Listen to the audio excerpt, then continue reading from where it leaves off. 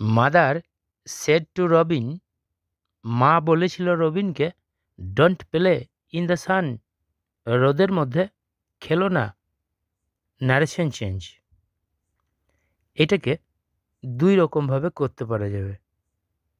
Answer, mother ফরবেইড Robin, মা মানা করেছিল বা নিষেধ করেছিল রবিনকে to play in the sun.